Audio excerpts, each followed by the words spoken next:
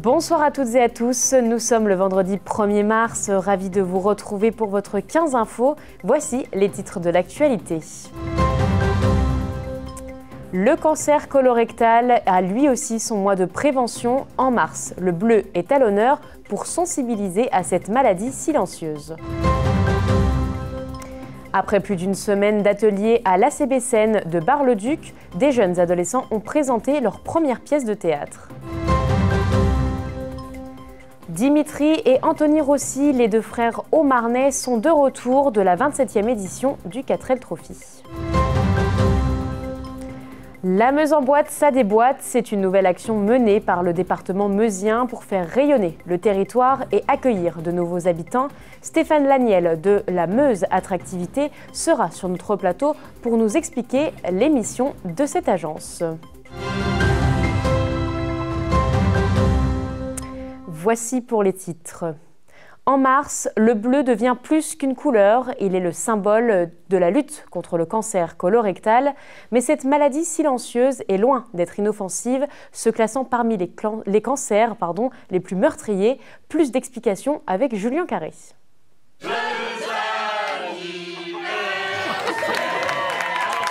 Attendez, attendez, euh, faut que j'aille faire mon dépistage du cancer colorectal.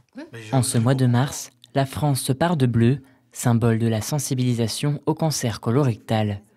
Cette maladie demeure la deuxième cause de mortalité par cancer dans notre pays. Selon l'ARS, on compte plus de 47 000 nouveaux cas chaque année et plus de 17 000 décès. À l'échelle du Grand Est, la région enregistre 3 750 nouveaux cas et 1549 décès chaque année, traduisant la réalité de 10 nouveaux diagnostics et de 4 décès par jour à cause de cette maladie. Le cancer colorectal, on sait aussi que dans la plupart des cas, euh, ça commence par un polype. Et puis ce polype va pouvoir évoluer euh, donc euh, dans le temps. En général, ça prend plusieurs années. il va pouvoir grossir, éventuellement donc saigner et c'est ce, et éventuellement donc arriver à un, cancer du côlon.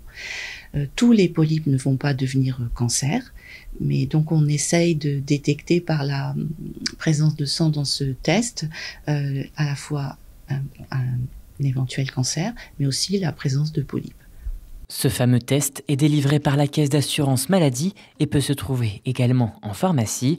Il est distribué aux hommes et aux femmes âgés entre 50 et 74 ans. Donc c'est juste un petit prélèvement. Voilà, avec un petit. Voilà, c'est juste un petit prélèvement au niveau des, des selles. Voilà, on referme ce petit on remet dans le. Et puis on l'envoie au laboratoire pour l'analyse. Dans cette lutte constante, le Grand Est redouble d'efforts, particulièrement lors de Mars Bleu, une campagne de sensibilisation dédiée qui marque un temps fort pour encourager le dépistage précoce. Le dépistage, c'est malgré tout toute l'année, même si c'est à ce moment-là qu'on en parle un peu plus. Euh, c'est donc important parce qu'on sait que c'est un cancer qui est pris, détecté tôt, est un cancer de bon pronostic et qu'on peut donc en, guérir 9 fois sur 10 quand c'est détecté tôt. Pour optimiser la prévention de ce cancer, il est conseillé de réaliser un test de dépistage tous les deux ans. En France, un taux de dépistage de 65% chez les personnes ciblées pourrait prévenir 4000 décès. Actuellement, seulement 34% d'entre elles participent au dépistage. À seulement 17 ans, Émilien Richier, étudiant en bac technologique à l'EPL Agro de Bar-le-Duc, a décroché la première place du concours agricole pour le meilleur jeune pointeur charolais. La Haute-Marne a elle aussi été bien récompensée cette semaine au Salon de l'Agriculture. Il y a quatre jours, la ferme du lycée agricole Pisani de Choigne a remporté l'or dans la catégorie meilleure de la génétique animale. L'exploitation avait présenté deux béliers et trois agnelles. Et puis aujourd'hui, c'est Mathieu Goussard, un étudiant en BTS 2 production animale, toujours au lycée agricole Pisani, qui excelle dans la catégorie pointage de race limousine et qui décroche la première place. Pour la première fois, la CBCN de Bar-le-Duc organisait un stage de théâtre pour les adolescents. Grâce à un metteur en scène professionnel, les jeunes ont monté une pièce de théâtre pour la restituer hier soir devant leurs proches. Cette semaine, les adolescents ont mis leur timidité de côté. Gaël Bossu a suivi la représentation. Ultimes instants de concentration pour ces jeunes comédiens. Dans quelques minutes, ils vont restituer devant public leur pièce de théâtre. Forcément du trac, il va y avoir une cinquantaine de personnes je pense, mais c'est sûr que ça, ça, stresse quand même, euh, on se dit il ne faut pas que je loupe. C'est bon pour vous? Oui Oui Allez, on fait rentrer le public. Sur les planches, il joue une réécriture décalée du mythique conte de Cendrillon, signé Joël Pomera. Plus tard, le père veut se remarier. Alors, il va sur Tinder. Mais Tinder, c'est pas dans le texte. Oui, bon, c'est bon, on a compris. Il va refaire sa vie avec une autre femme. Je voulais quelque chose euh, de ludique, mais en même temps qui raconte des choses, parce que c'est quand même une pièce qui parle à la fois du deuil, de la difficulté de se comprendre. Euh. Ça m'a surpris parce qu'ils ont tout de suite adhéré à la pièce. J'étais pas J'étais pas sûr qu'ils allaient adhérer et en fait ils ont tout de suite, euh, ça leur a tout de suite plu, ils ont tout de suite adhéré à la pièce. Je suis rentrée dedans mais direct parce que j'aime bien parce qu'on reprend quand même un peu l'histoire un peu traditionnelle mais on y ajoute une touche de fun, du coup euh, c'est vraiment bien. Ces adolescents ont participé toute la semaine à un atelier de théâtre proposé pour la première fois par l'ACB Scène nationale de Bar-le-Duc en partenariat avec la compagnie théâtrale Azimut. Le but, c'était ben, de faire euh, découvrir la pratique euh, théâtrale euh, dans des conditions un peu particulières, puisque c'est au grand plateau du théâtre avec un metteur en scène de la compagnie Azimut, donc un peu des, conditions de pro. Et ça, ça sûr que ça peut être impressionnant, mais en même temps, ça leur permet d'expérimenter dans des conditions, on va dire, idéales. Là, il y avait des jeunes, c'est la première fois qu'ils faisaient du théâtre. Et là, il y en a vraiment qui ont l'habitude de pratiquer le théâtre et qui sont très contents de, venir. J'adore, c'est très mélangé. Donc les, on va dire que les plus expérimentés euh, poussent un peu plus euh, à la roue, ça entraîne, ça entraîne les autres. Pour tous ces jeunes, cette semaine a été une source d'enrichissement entre rencontres et liberté de s'exprimer. Euh, le théâtre, j'adore ça parce que quand je suis sur scène, je me sens libre. J'aime bien essayer. Il y a plusieurs personnages. Chaque personnage, j'essaye de, de l'interpréter de plusieurs façons différentes. Je trouve ça super intéressant. je suis quelqu'un de très timide aussi, donc ça me permet de d'extérioriser un peu tous mes sentiments, de, de parler, de communiquer. Mais jamais Sandra ne sera d'accord. Je te demande pas de demander son avis à ta fille. Tu vas lui reprendre cette robe et tu lui dis que tu la rapporteras. Ce que j'adore être sur scène, c'est vraiment un moyen d'extérioriser euh, toutes les émotions qui me traversent. En fait, l'art, c'est vraiment pour moi euh, un moyen d'extériorisation. C'est énorme. Ce qui, ce qui se passe pour eux, c'est euh, la confiance, c'est euh, le fait d'oser, c'est le fait de pouvoir être à l'aise en public, c'est le fait de travailler sur sa diction, sur la clarté de ses propos. Il y, y, a énormément de choses qui se travaillent, qui se travaillent dans, dans le théâtre, surtout à l'âge qu'ils ont. c'est vraiment c'est très complet comme discipline. Bien sûr, Thierry euh, c'est pas Thierry? Non, c'est Thierry. Ça, c'est pas du pauvre. Mais on s'en fout, ça compte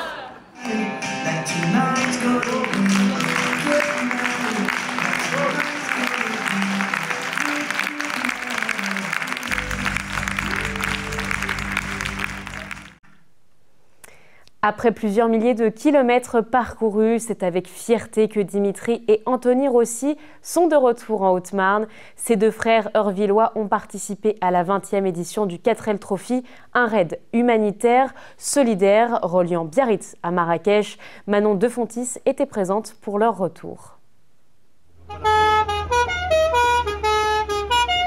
Ils sont enfin de retour en Haute-Marne à bord de leur mythique Renault 4L. Anthony et Dimitri Rossi reviennent d'un périple de plusieurs milliers de kilomètres. Ces deux frères heurvillois se sont lancés le défi de participer à la 27e édition du 4L Trophy, un raid solidaire reliant Biarritz à Marrakech.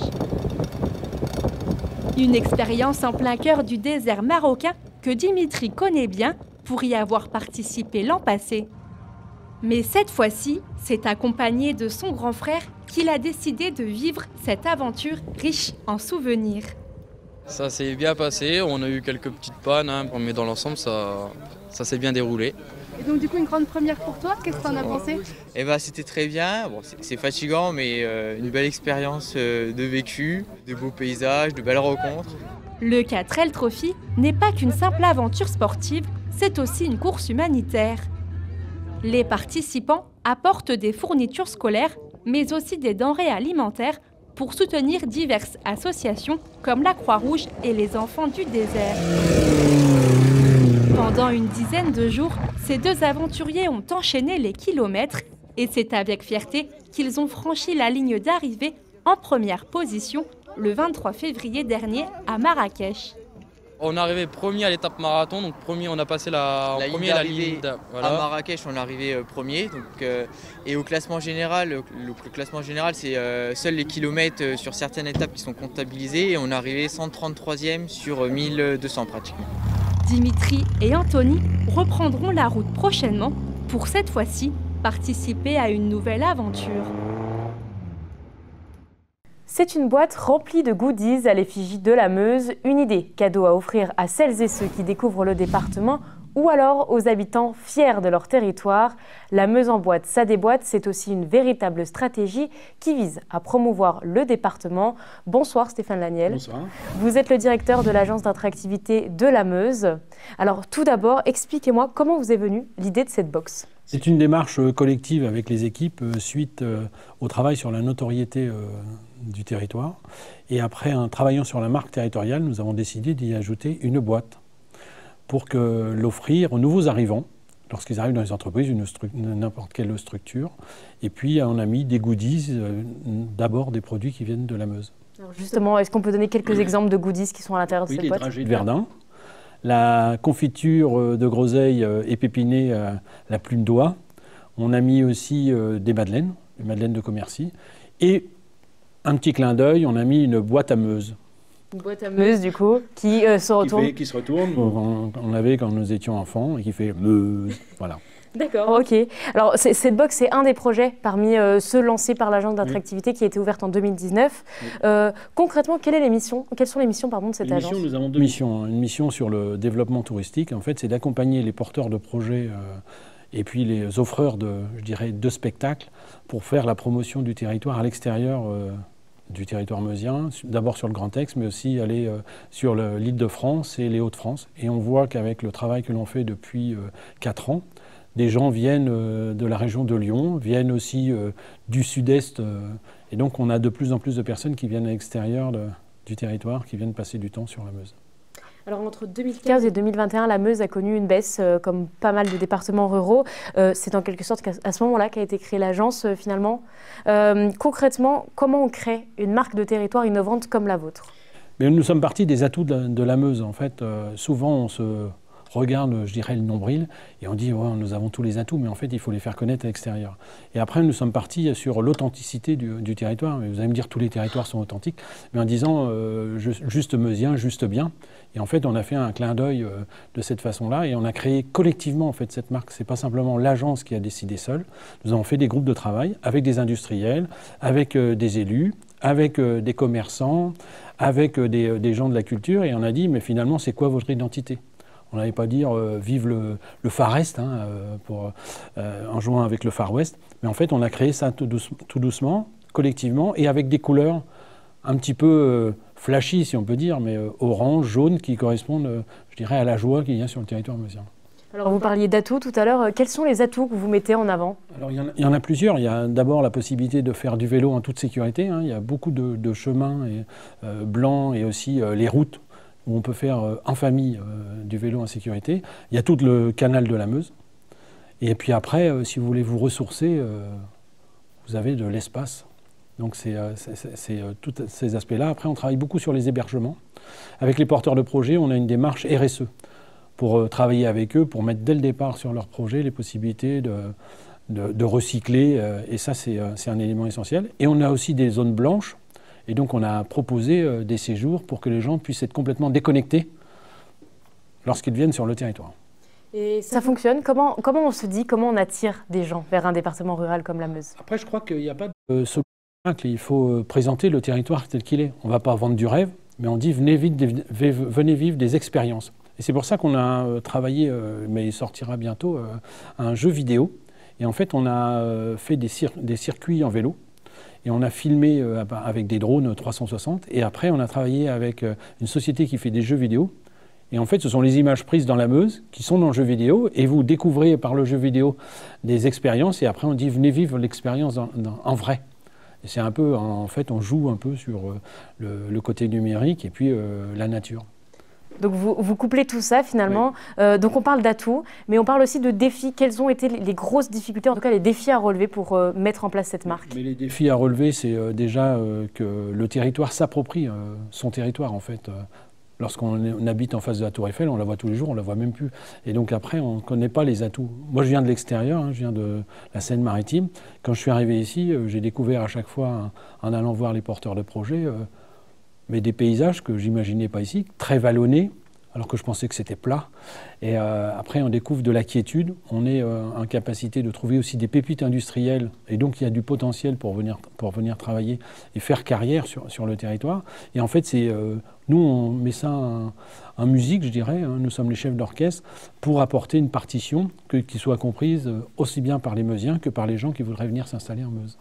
Eh ben, on va terminer là-dessus. Euh, merci Stéphane Nagnette d'avoir été avec nous ce soir. Merci de m'avoir invité. C'est la fin de votre 15 infos. Merci de nous avoir suivis. Tout de suite, la météo. Demain, pour l'information, vous retrouverez Antoine Regnault. Bonne soirée à toutes et à tous. Toute l'actualité en continu à retrouver sur notre site internet et notre application mobile. Retrouvez-nous également sur les box internet Orange, Free et Bouygues Télécom.